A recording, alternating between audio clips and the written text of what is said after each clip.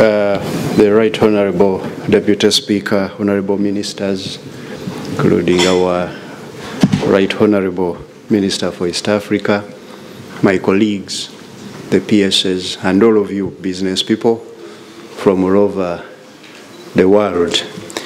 I'm happy to be here. My name is Ramathan Ggoobi. I work as Secretary to Treasury for the Republic of Uganda.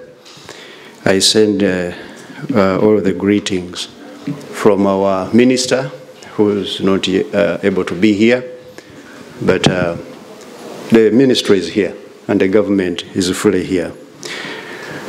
I would like, ladies and gentlemen, to start by informing you that this summit is actually coming on the heels of very important developments in Africa. And uh, these are highlighting also Uganda's age as a partner for progress for both our governments, but also for the businesses and uh, for travelers. In May this year, Uganda was awarded the best investment destination in Africa. And two months later, in July, Uganda was selected to host the African Humanitarian Agency.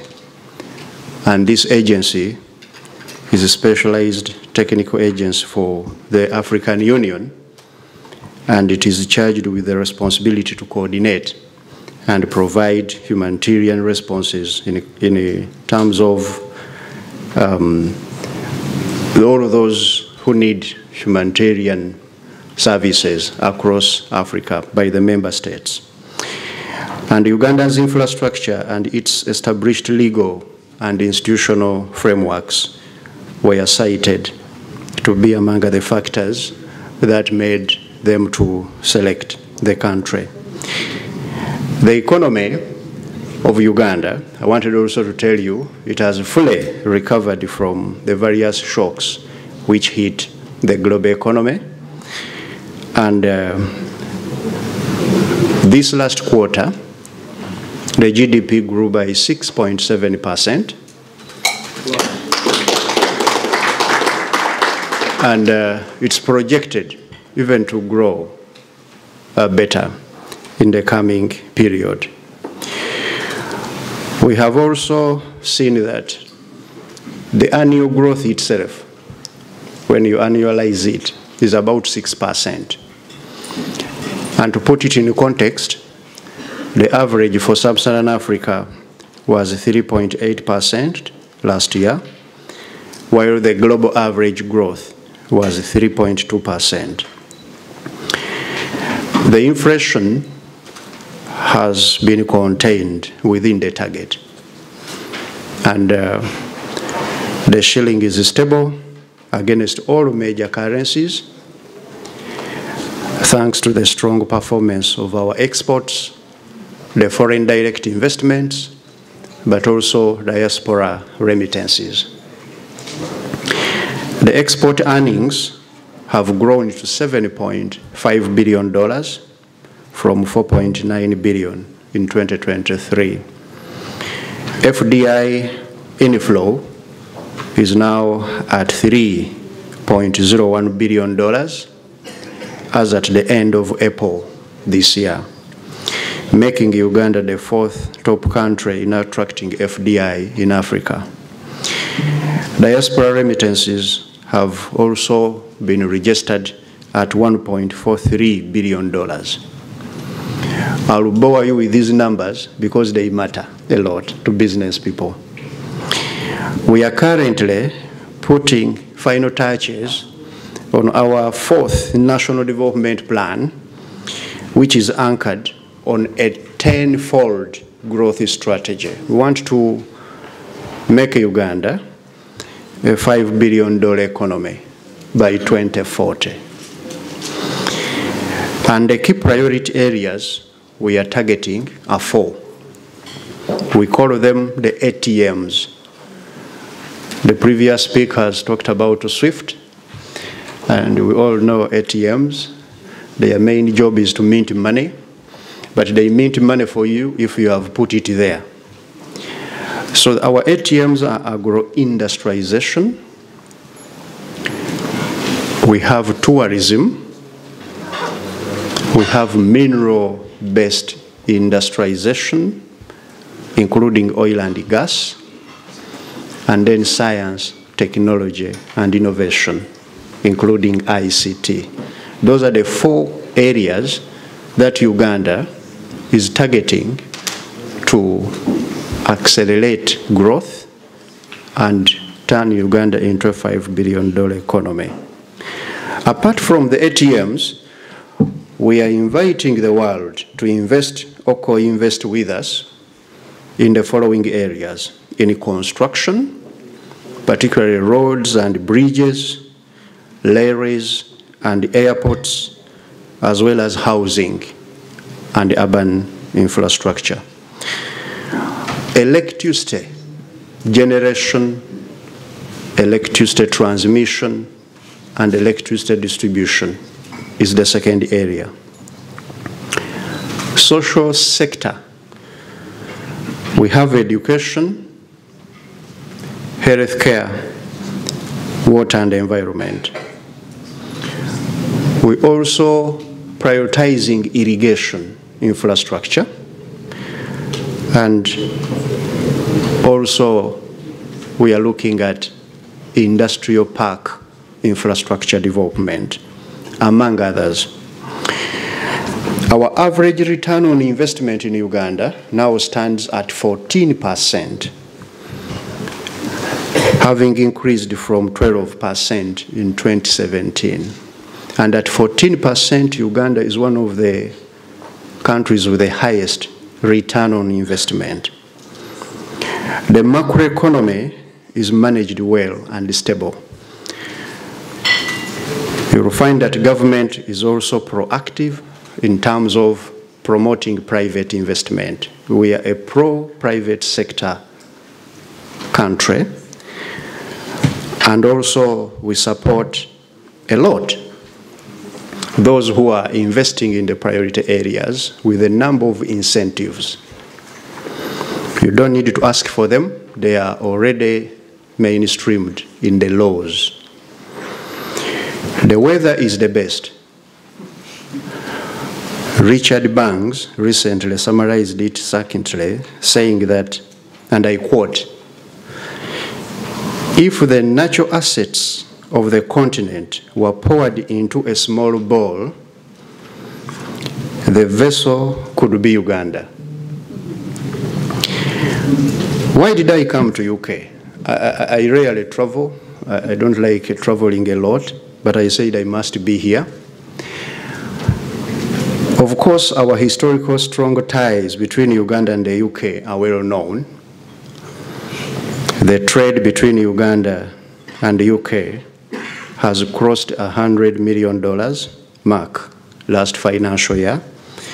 However, whereas Uganda's exports to the UK have improved in the recent years, they remain generally low.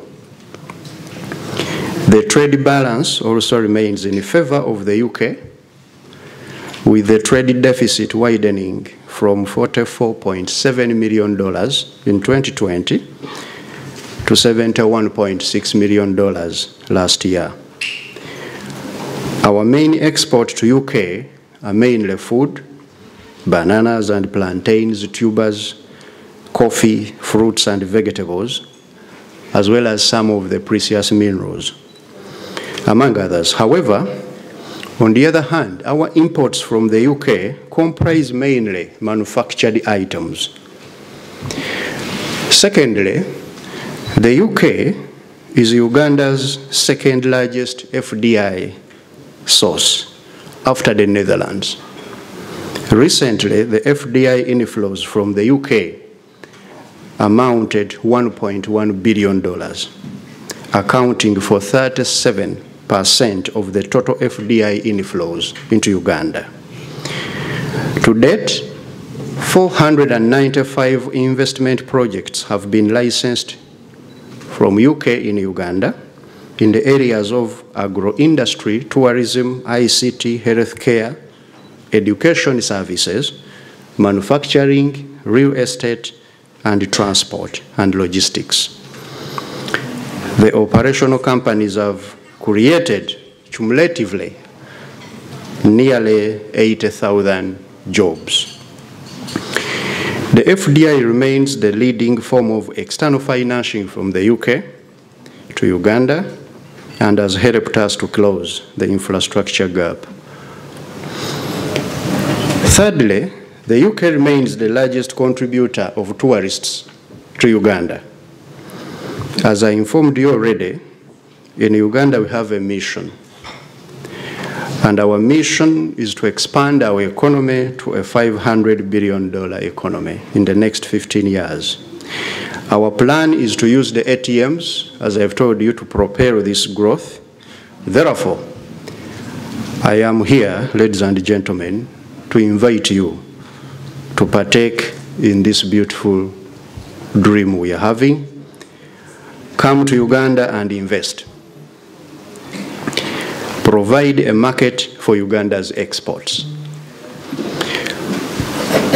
But also, I would like you to come and partake in our beautiful ambition by investing, providing a market for our exports, but also by visiting and seeing the wonders of nature and biodiversity, culture and experience. I am here for markets, for investments, and for tourism. The next 15 years are going to be interestingly lucrative for our partners because the numbers look pretty good in those areas I've mentioned. And in addition, the economy is synonymous with stability because our macroeconomy is stable and institutionalized to remain so. The business environment is liberalized. We are strategically located, as they have already told you. And above all, the people of Uganda are exceptionally hospitable, young, English speaking, trainable, and also their incomes are improving now. We are also gold medalists, ladies and gentlemen. At several international competitions, we have won five Olympic gold medals.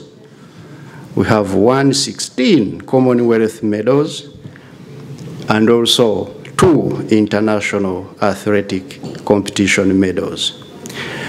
And our record is that as I already told you, we have one of the fastest growing economies, not only in Africa, but in the world. And uh, the Center for International Development at Harvard is projecting Uganda to become among the fastest growing economies for the next decade, ending 2031. We are also selected among the 10 countries in Africa for industrial development in the 2022 Africa Industrialization Index by the AFD. Uganda was also uh, ranked as the country with the fastest growing financial sector within East Africa and fourth in Africa by the ABSA Africa Financial Markets Index for last year. I could go on and on, but I don't want to bore you with some of the things we have done. Let me end by giving you our commitment as government of Uganda in a number of areas. Number one, in strengthening and deepening capital markets we have put in place a deal flow facility which identifies and supports SMEs to become investment ready. The DFF uh, is an investment matchmaking facility uh, funded by EU and uh, we are working with the Uganda Capital Markets Authority to ensure that we deepen the capital markets. Number two, we've amended our tax regime, as the Deputy Speaker has informed you they support us. Our tax regime has been amended this year to include tax exemptions for income derived from private equity or venture capital, as well as income derived from disposal of government securities on the secondary market. You don't pay tax going forward. We are also facilitating formalization of businesses through business licensing reform and e-government. We are closing the infrastructure gaps in the economy, thereby lowering transaction costs in the economy. We are also implementing a competitive investment incentive regime, which is quite generous and includes both tax and non-tax incentives. Government is also making measures to de-risk the economy. The macro risk has been sustainably addressed through putting in place a robust monetary and fiscal policy coordination framework. That's why my, my governor of the central bank is not here with me because I'm fully representing the central bank. We are fully coordinated. The central bank is independent and the fiscal rules are guided by the Charter of Fiscal Responsibility. We have very low inflation, a stable currency, and a low fiscal deficit, not because of good luck, but because of these things. The public debt risk has been mitigated through adherence to inter international debt sustainability frameworks. At 47.9% debt to GDP ratio, Uganda has one of the lowest debt to GDP ratios in Africa which is quite far below than the thresholds that are allowed by the international uh, standards. On the market risk, we are addressing them through negotiation of market access for export and also for deepening economic integration, as the Minister for East Africa has already informed you. We are also continuously working on business licensing reform for ensuring that our businesses are finding it easy to do business. I take the honor, ladies and gentlemen, to invite you to Africa, but in particular to Uganda, to do business with us, also get us markets for our exports, particularly value-added exports, but also come and visit Uganda as tourists. It's the best place you will ever be. I thank you. Thank you. Thank you. Thank you so much. The fact or the process of coming together, there's been talk about an East African currency similar to the euro. Now, these days in the world that we live in, we don't know what is real news and what is fake news. Hopefully, we'll get the real news here today. And you have just the right people here to be able to answer that question. Um, uh, since that's a key question, let me get a quick answer from uh, Honorable uh, Prime Minister.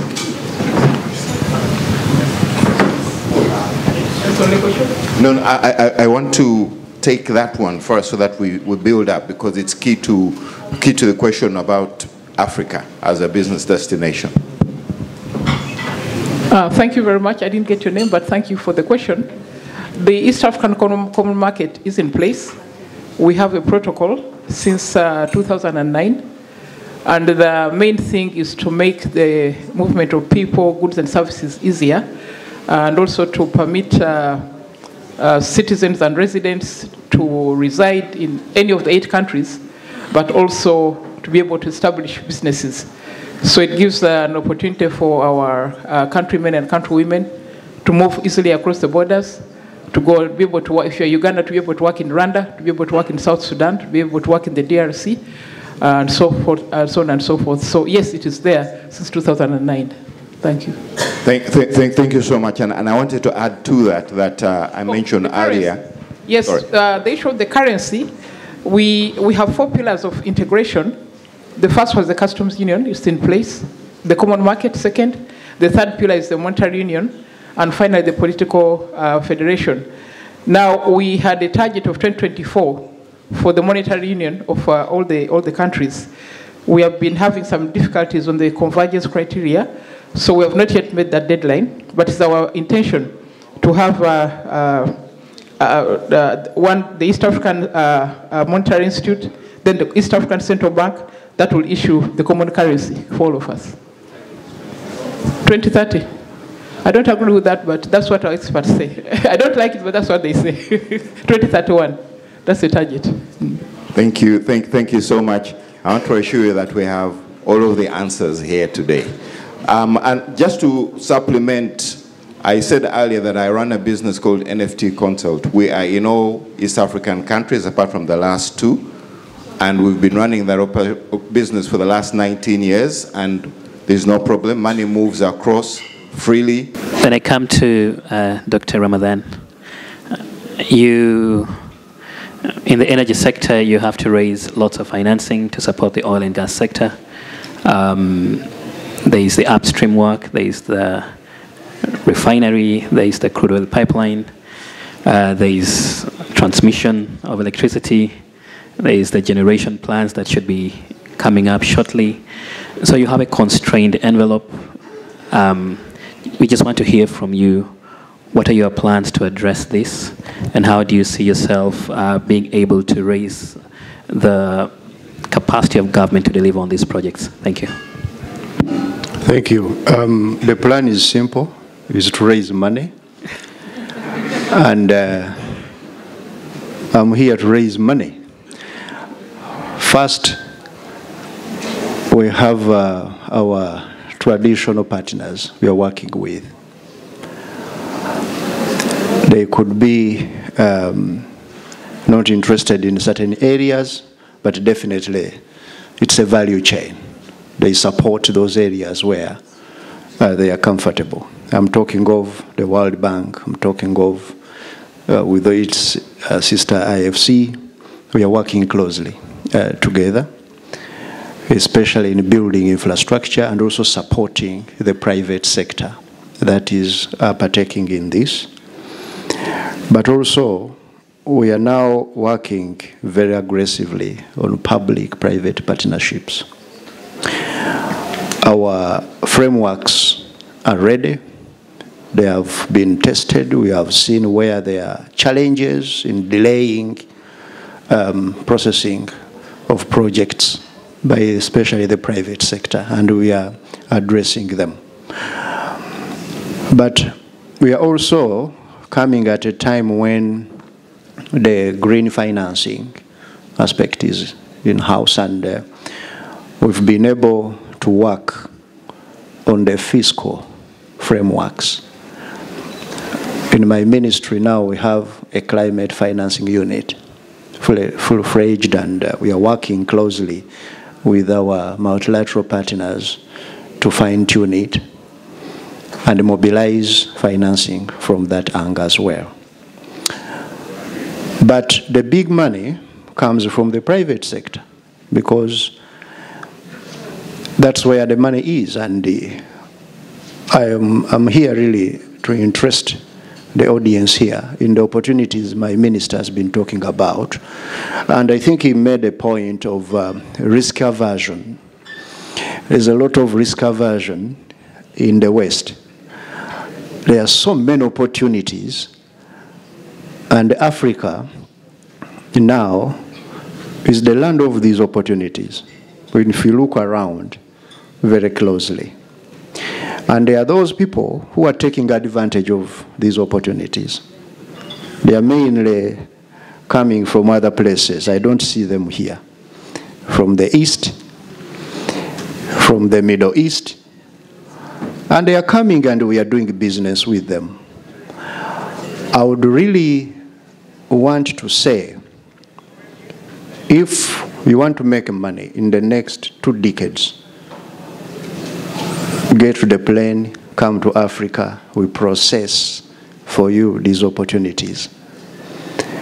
If you wait on, these opportunities will not wait. They are going to certain categories of people. This is the message I want to be clear in the room. I see um, a lot of, uh, you know, caution and carefulness and so many questions. There are people who don't ask those questions and they are getting these opportunities. I want to tell you the truth. And um, we are closing a lot of big deals in Africa, particularly now in Uganda, with some particular kinds of people. When I talk like this, I'm sure everybody in the room knows what I'm talking about. And um, I would want our traditional partners in development, the United Kingdom, to take full advantage of the opportunities before us. And we work together to develop these ATMs to bridge the infrastructure gap in Africa. Talk about the infrastructure gap, for example. In the past two decades, who has played the biggest role? Where has this money come from that has built the infrastructure in Africa? Because we have closed it, I think, in the last two decades, much faster than in the previous century. And uh, we have now electricity, we have highways connecting all corners of the country. We have um, uh, the railway lines which are being revamped. We have the IT, uh, you know, national backbones, fiber laid across the continent and younger people uh, connecting themselves in the gig economy and so on. This man has come from different places. And I would want to encourage the investors in this part of the world to really pick a leaf from this and we move uh, uh, together. Mm.